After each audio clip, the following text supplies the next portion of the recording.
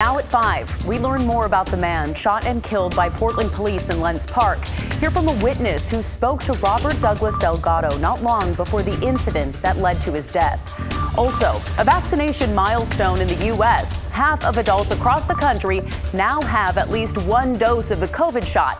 But vaccine hesitancy is growing as everyone 16 and older becomes eligible in Oregon Monday. Plus, you feel like you're contributing to the end of this long, in many cases, painful experience. Teens taking the anxiety out of COVID vaccine appointments. How these local high schoolers can help you nab the jab. The news starts right now. Good evening and thanks for joining us at 5. I'm Brittany Falkers. We begin with new insight into the deadly police shooting in Lents Park Friday. It started with a report of a man pointing a gun in the park. Today, Tim Gordon spoke with a witness who says he saw what happened when officers arrived. People have placed flowers at a memorial for Robert Douglas Delgado. Delgado is the man police came to check out in Lents Park. It ended with both less lethal and lethal force used against the 46 year old Portlander. Delgado died of a single gunshot. It's really tough because it happened all right next to me, right next to me, right next to my truck. David Hernandez videotaped the deadly ordeal. We're showing you just a little of the 11 minute clip to see his perspective. A few hours before the police confrontation, Hernandez says he and his partner were at the park and noticed a tent in the grass nearby. Then Delgado, who they did not know, came from the tent to visit. But he bumped a couple of cigarettes from us. Um, and we kicked it and shared a few moments of our life just talking. He seemed like a really cool guy. Um, he wasn't on drugs. He didn't smell like alcohol. At that time, Hernandez um, said he noticed Delgado had a gun, but that it wasn't loaded. Went, went Sources have told the Oregonian that police recovered a replica with an orange tip on it. The investigation is far from over. But family members described Delgado to the Oregonian as a sweet man who lived a troubled life suffering from mental illness and substance abuse. Mental health advocates say more help is needed for those in crisis. You have people who have both the mental health background uh, and the connections to the community, the connections to resources that you need to really contact people and figure out what it is they need to get them out of that place of crisis. Um, that's another thing that we'd really like to see funded. And then I really think housing is also an incredibly crucial component of it too. Delgado was houseless, and so is David Hernandez, who has shared his video with police and expects to be called in as a witness. What I'm going to go there to do is tell them the exact truth. That's all I can do. The truth as he saw it, of something he'll never forget. I spent a few moments of my life with this person to get to know him a little bit and interact and he's gone. It's tough. Tim Gordon, KGW News. Another night of protests ended with relative calm on Saturday, at least compared to Friday night's riot in downtown. Last night's protest was by the Portland Police East Precinct. About 70 people gathered. Police say some people took two dumpsters into the street.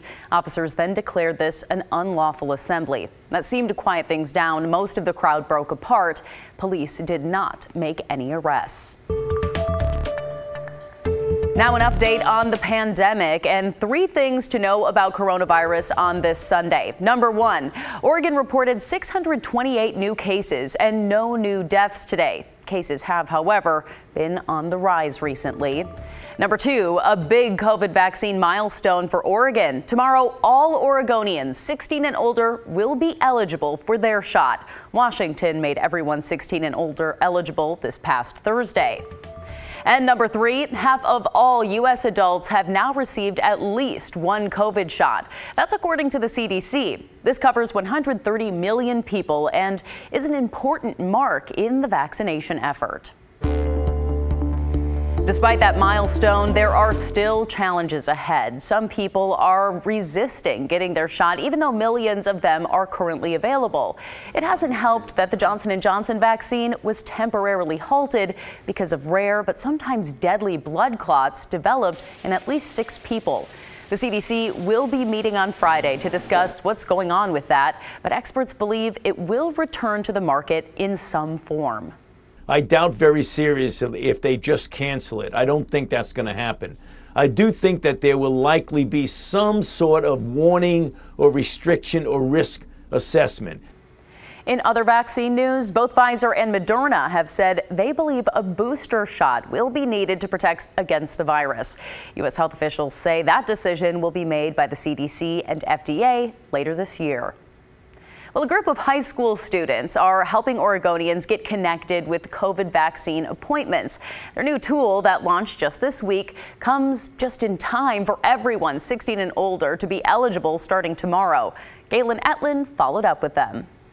These high school students are part of the team for Portland Student Pandemic Response, which is a nonprofit that was built to give students a place to collaborate virtually in helping Portland and Oregon through the pandemic. The group has a new text line for Oregonians to find a COVID 19 vaccine appointment. And it checks it to the second, so you're always getting the most relevant data. The idea is easy access through your phone, getting as many people access to vaccine appointments as possible as everyone over 16 becomes eligible April 19th. So, what are the steps? The first is texting the word vaccine to 850 367 7033. The second is checking your eligibility with the Oregon Health Authority link that will pop up after you text. And the third is entering a zip code, either your own or one near you, and a list of vaccine appointments will pop up. I would imagine this is also sort of a technical feat to put all of this together. When it came to that aspect of it, how did you make this technology work? So it's based off of a national open source coding program and adapted into text line format by Portland Student Pandemic Response members, which is super cool. Students from multiple schools in the Portland area have worked since last year to help people through the pandemic, from donating PPE to helping people find food assistance. High school students have a lot of power in what they can do. And when they are able to direct their energy into making an impact, it will happen and it'll happen at a pretty good scale. And for these soon to graduate seniors, they're working to pass the torch. Are you or a loved one looking to get vaccinated? These online training videos are for other students to become ambassadors, helping friends, family, and community members get vaccination appointments. Students, um, uh, once they finish this, will take a quiz, and if they pass, we will provide them with a little PSPR official um, vaccine ambassador certificate. Why would you say that this is a rewarding thing to be a part of during this moment in history? It allows you to have a way to help in seeing the light at the end of this tunnel. You, you feel like you're contributing to the end of this long, in many cases, painful experience. The text line costs a little money, so students are crowdsourcing it online and taking with them an important lesson. That individuals do have power to make a difference. Galen Ettlin, KGW News. And as more people receive COVID vaccines, universities are getting ready for the fall semester. Seattle University now says all students will be required to get vaccinated before they can return to class. It's the biggest school in Washington to announce this requirement so far. The University of Washington has not made a decision yet. Washington State says it's considering it. I feel like if you're going to have a class in person, I think it should be a requirement for students and professors to be vaccinated. I think that just like makes the most sense. Universities say if they do mandate the COVID vaccine, they'll likely include exemptions for existing medical conditions and religious ob um, ob objections. The University of Oregon so far has said it strongly encourages getting the COVID vaccine, but has not required it yet. Oregon State has the same policy.